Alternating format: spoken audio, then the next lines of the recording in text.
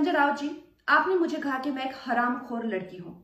आप एक सरकारी मुलाजिम है, एक मंत्री आप तो जानते ही होंगे कि इस देश में हर दिन नहीं, हर घंटे कितनी लड़कियों के बलात्कार हो रहे हैं, कितनी लड़कियों का शोषण किया जा रहा है, उनकी बॉडीज काट के ऐसी डाल के फेंक दी जा रही है, उनकी काम की जगहों पे उनको गालियाँ दी जा रही है, उनका अपमान किया जा रहा है, उनके खुद के पति, उनके कान, नाक, मुँह, कान, जबड़े तोड़ रहे हैं। और आपको पता है इसका जिम्मेदार कौन है? इसका जिम्मेदार है ये जो मानसिकता आपने, जिसका भौंडा प्रदर्शन पूरे समाज के सामने, पूरे देश के सामने किया है, वो मानसिकता इसकी जिम्मेदार है। और इस देश देश की, इस देश की बेटियाँ आपको माफ़ नहीं करेगी, संजय जी। आपने उन सब महिलाओं का शोषण करने वालों को सशक्तिकरण किया है। इस देश की बेटियाँ आपको माफ़ नहीं करेंगी। जब आमिर खान जी ने कहा था मुझे, इस देश में डर लगता है, तब उनको किसी ने हम हरामखोर नहीं कहा। या जब नसीरुद्दीन शाह जी ने कहा था, तब उनको किसी ने हरामखोर नहीं कहा। जो मुंबई पुलिस की मैं तारीफ़ करते हुए नहीं थकती थी। आप देख लीजिए मेरे पुराने कोई भी इंटरव्यूज़ आज जब वो पालघर की लिंचिंग में साधुओं को के सामने वो कुछ नहीं करते हैं, खड़े रहते हैं, या एक लाचार बाप जैसे कि सुशांत के पिताजी उनकी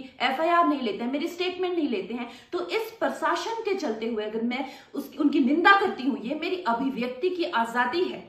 मैं उनकी निंदा करती हूँ, संजय जी, मैं आपकी निंदा करती हूँ, आप महाराष्ट्र नहीं है। आप ये नहीं कह सकते कि मैंने महाराष्ट्र की निंदा की। और संजय जी, मैं 9 सितंबर को आ रही हूँ। आपके लोग कह रहे हैं कि आप लोग मेरा जबड़ा तोड़ देंगे। आप लोग मुझे मार डालेंगे। आप लोग मुझे मारिए क्यों? क्योंकि इस देश की जो मिट्टी है, वो ऐसे ही खून से सींच कर इस देश की देश की जो गरिमा है और अस्मिता के लिए न जाने कितने लोगों ने अपनी जान दी है। और हम भी देंगे संजय जी, हम भी देंगे क्योंकि हमको भी वो कर्ज निभाना है। मिलते हैं नाइन सेप्टेम्बर को। जय हिंद, जय महाराष्ट्र।